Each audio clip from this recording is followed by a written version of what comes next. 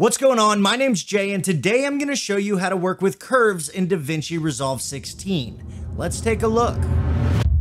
When Blackmagic Design released DaVinci Resolve 16 into public beta, I was really, really impressed by a lot of the upgrades that they made to the software. And one of my favorite upgrades, one of my favorite new features is the fact that you can now overlay your histogram on top of your curves in the color page. Doing this actually allows you to be a lot more accurate with your color grades and it's really, really easy to activate this new feature.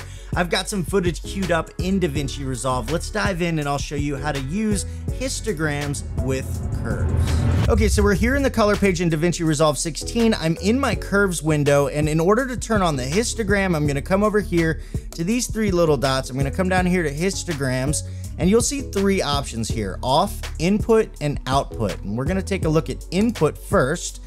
You'll see my histogram has shown up. This is a histogram that is correlated with this video clip right here. The only issue is if I start tweaking the contrast or I start tweaking the color of this image, the histogram doesn't move. It's just stuck how it was with the unedited clip. And that's not what I want. I want to be able to have the histogram moving with my edits so I can see exactly what I'm doing.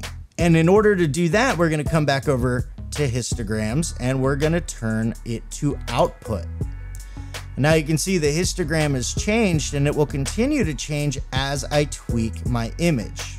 And let's say I want to put a little bit of a color grade on here. Go ahead and bring some cyan into the shadows maybe. Bring some red into the highlights. And you can see the histogram has been moving along with my edit. Now these are the custom curves, but let's say there's another curve that we want to go into, like maybe hue versus hue. Let's say I want to change the hue of this grass. I can go ahead and click on that, highlight it in my hue versus hue. And I can drag that down in order to make it just a little bit more green and you can see that my histogram has changed again. And then finally, it'll change if I work with the Luma versus saturation. So if I do what I always do, which is desaturate the blacks, bring up the saturation in the midtones, you can see the histogram has changed. And then also in saturation versus saturation, if I want to go ahead and maybe take out the saturation in my shirt, I can do that by dragging that down. So having that histogram turned on will allow me to really get an accurate view of what part of the image I'm tweaking and what it's doing to the image.